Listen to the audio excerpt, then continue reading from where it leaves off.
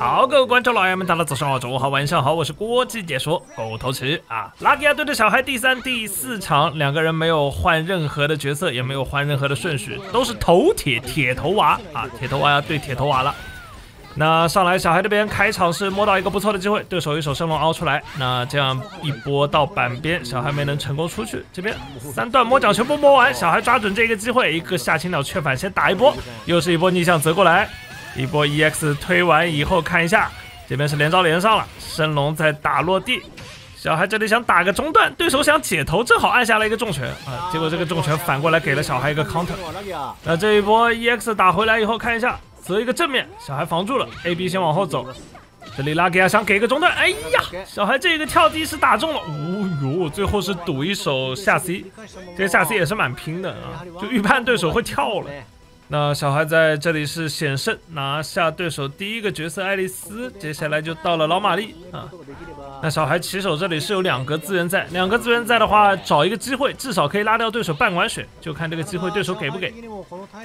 这两边都在等，哇呀，这里跑那么深，突然停下来，哇，就是想骗小孩升龙。拉蒂亚也是感觉到小孩今天好像很喜欢升龙的这个感觉啊，就直接跑到对手脸上屡次试探。最后是把小孩这个升龙逼出来。拉格亚在打的时候呢，每次都是给人一种我很凶，我要冲上来的感觉啊，但是每一次都会一脚刹车给他踩死啊。这时候小孩这边以为对手要这样子压过来了，有一个不错的升龙时机，结果并没有啊，对手还是在那里很冷静拉防。小孩这边一个升龙对空，反应过来了啊，对手一个大跳过来，基本上不会给你这个机会。再一个逆向，说真的啊，小孩以前的比赛的胜负关键手一般都是这个八神，但是现在放到二发这个位置。就不知道他适合用意。小 A 这边又是拼到一个相杀，小 A 这边想攻过去，下 B 哎这边摸奖摸到了，一波过去的话应该是要接大招了。神龙直接取消一个八之女，打完以后再接，就不想给对手机会，想要直接带对手上路，最后压一个起身跳 C 跳 C，这边冲过去还是跳 C，就直接连压，对手这边没有血去跟小孩换了。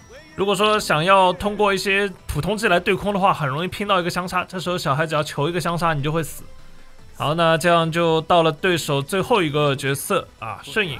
那今天小孩这边用八神放在第二个位置呢，也可以看到，他就打人的时候没有太多的顾忌了，有资源先交掉没关系啊，就不像留在大将的时候，哎，有时候经常会面临要反二反三，对吧？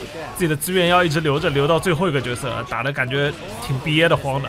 但是现在上来对手的这一波是满资源，直接给了一波大伤害，小孩这边有点难受。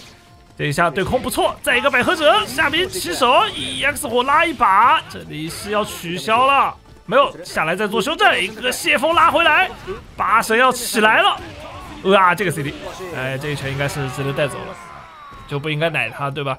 刚说他要站起来，突然就倒下了。那这样就到了双方最后一个角色，小孩这边的摄影同样的来了。那这样双方的话，应该是要做一个同资源开局了。上来就是一个 CD，小孩这边先吃一发到板边。这个摄影对摄影的时候，小孩这边开场资源跟血量都会有一定的优势，但是现在对手这边压的比较凶，AB 直接出来。看看能不能找一个反击的机会。这边对手的牵制打的一直非常的不错。小孩每次想要打进攻的时候，都会被一个后跳给拉开。这里没有抓到一个逆向，被对手下逼摸住，哎，连招失误了。这里给到小孩一个机会。那这样的话，对手这边至少在爆 BC 的期间，不会给小孩造成太大的伤害。这边 BC 又来，小孩 AB 这一下没有抓中。好的。不过现在马上要面临破防，小孩这边的破防槽回的很慢，需要找机会反打一波进攻了。现在对手这边好像就一直是整体的力回优势上面拉得很满，就根本没有什么太多的机会让你摸到他。小孩现在这一点比较头痛，对手的力回打的是真的有点好。啊，这边抓到一个确反的机会呢，这样的话可以直接带走了。神龙打完以后再来一发，直接大招跟上，优势结束。哇，好险！还是客观的说一句，小孩这一局虽然是赢了，但是总体的局势上面看起来并不是那么的美妙，尤其是在双方的一个力回拉锯上面啊，小孩那边输的感觉有点多。如果照这样子一直打下去的话，我觉得小孩那边会比较危险。好，双方一言不合又开始了新的一局啊！其实一开始立回很关键，谁能够先拿到压制对手的机会，谁的资源就会涨得更加快，谁能够涨到更多的资源，谁就能拿第一波的机会，对不对？那现在看起来小孩那边是处于一个防守的状态，这边找机会点中一下下青鸟，想抓一个逆向没抓到啊，这个应该也是抓不了逆向，神龙对空不错，有压倒起身，这边对手 A B 直接是夺你一手逆向。小孩下一次压起身的时候，可能得考虑一下换一个方式。别空，好的，拉吉亚这边跳的有点多，小孩在原地直接等着你一手。三连放倒，然后择一个正向，再一个正向过来。现在已经卡到板边位了，小孩这一波直接一个中断命中，一气呵成，连段打上，伤害打满，游戏结束。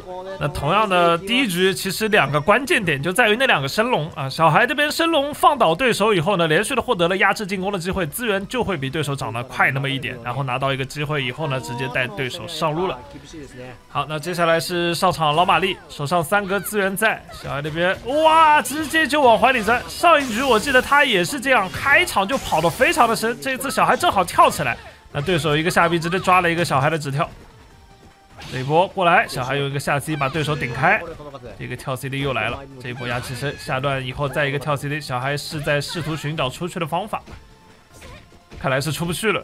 这个板贝一旦进去以后，就会被对手这样无限的跑过来下逼，抢招的话应该是不太行。在对手的进攻之下，如果说你去抢招，万一被一个小跳底打中，那肯定是要白给的。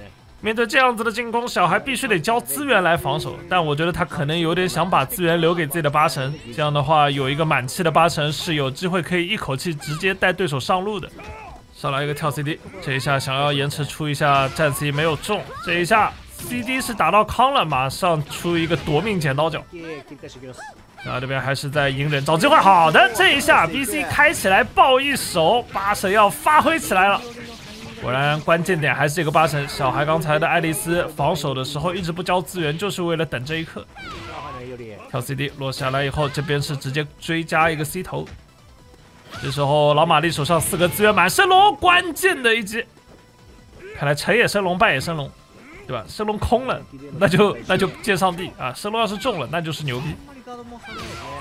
小 C D 这一下又被夹中，不过这一波是要被送上路了，接了一个超杀，超杀送上去以后血量应该是没了，哎，比较可惜。